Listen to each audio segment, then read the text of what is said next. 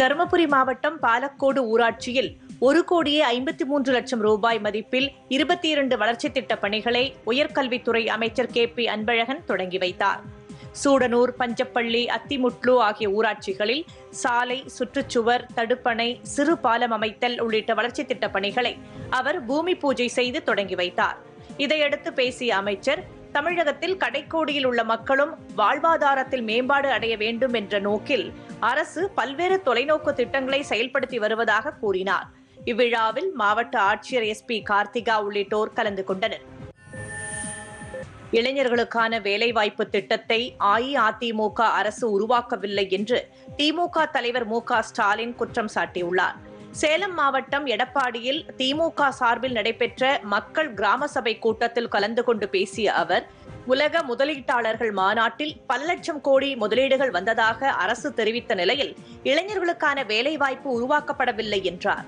திமுக ஆட்சியில் வழங்கப்பட்ட மகளிர் சுய உதவி குழுக்களுக்கான சுழல் நிதி நிறுத்தப்பட்டதன் காரணமாக புதிய தொழில் வாய்ப்புகளை அக்குழுவினர் மேற்கொள்ள முடியாமல் போனதாகவும் ஸ்டாலின் கூறினார்.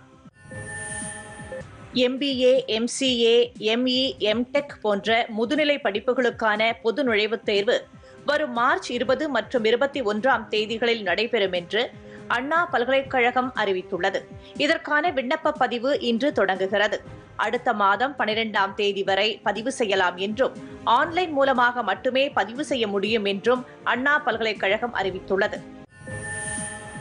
உதகை அருகே முதுகில் ஏற்பட்ட காயத்தால் அவதிப்படும் ஒற்றை காட்டு யானையின் நடமாட்டத்தை வனச்சரகர் தலைமையிலான குழு தொடர்ந்து கண்காணித்து வருவதாக வனத்துறையினர் தெரிவித்துள்ளனர்.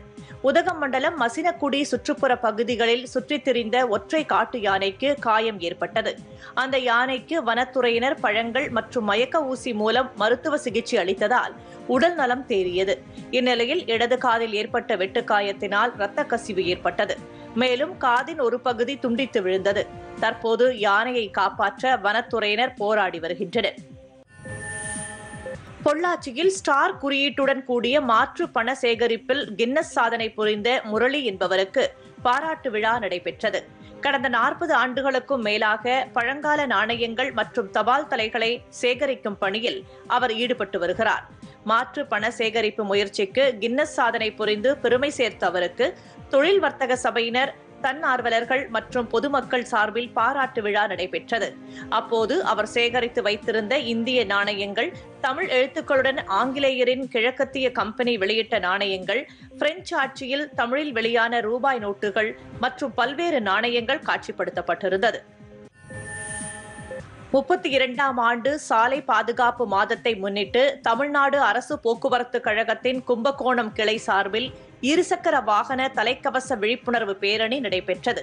கும்பகோணத்தில் உள்ள தலைமை அலுவலகத்திலிருந்து பேரணியை தமிழ்நாடு அரசு போக்குவரத்து கழகத்தின் கும்பகோணம் பிரிவு மேலாண் இயக்குனர் பொன்முடி தொடங்கி வைத்தார். கும்பகோணம் நாகப்பட்டினம் திருச்சி கரூர் புதுக்கோட்டை மற்றும் காரைக்குடி உள்ளிட்ட ஆறு மண்டலங்களில் இப்பேரணியை அடுத்த மாதம் பதினேழாம் தேதி வரை நடத்த திட்டமிடப்பட்டுள்ளது. ரயில் நிலையம் அஞ்சல் நிலையம் ஆகியவற்றின் வழியாக விழிப்புணர்வுக்கான பேனர் ஏந்தியும் ஒலிபெருக்கி மூலமும் விழிப்புணர்வு ஏற்படுத்த திட்டமிடப்பட்டுள்ளது. விரைவில் சட்டப்பேரவை தேர்தல் நடைபெறவுள்ள அஸ்ஸாம் மாநிலத்துக்கு தலைமை தேர்தல் ஆணையர் சுனில் அரோரா தலைமையில் தேர்தல் ஆணையர்கள் குழு பயணம் மேற்கொண்டுள்ளது. மூன்று நாள் பயணமாக நேற்று கவுஹாத்திக்கு சென்றடைந்த இந்த குழுவினர் தலைமை தேர்தல் அதிகாரியுடன் ஆலோசனை நடத்தினர். அரசியல் கட்சிகளின் பிரதிநிதிகள் மற்றும் மாவட்ட தேர்தல் அதிகாரிகளுடன் இன்று ஆலோசனை நடத்துகின்றனர்.